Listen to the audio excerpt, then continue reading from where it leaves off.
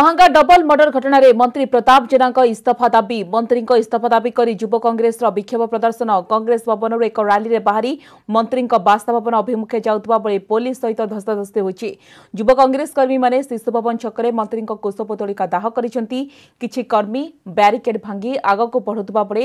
ସେମାନଙ୍କୁ ଉଠାଇ ନେଇଛି ପୋଲିସ